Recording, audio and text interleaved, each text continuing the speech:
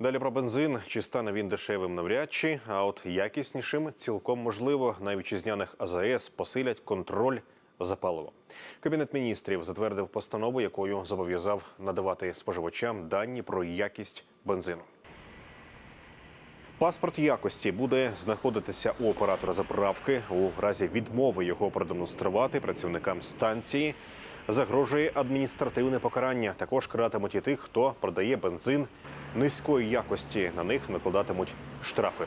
Крім того, у постанові прописано, якими саме мірниками має бути забезпечена станція, аби можна було перевірити, чи у повному обсязі заливається паливо у автомобільний бак.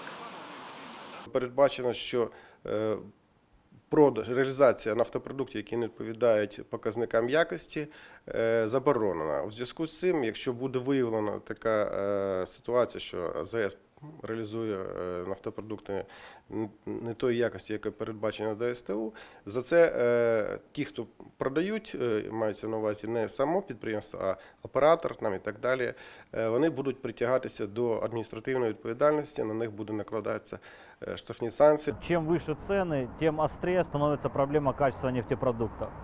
Э, Поскольку рынок ориентирован на стоимость легального топлива, э, то э, нелегальный сектор автоматически подтягивается, или то тоже топливо, это тоже топливо дорожает.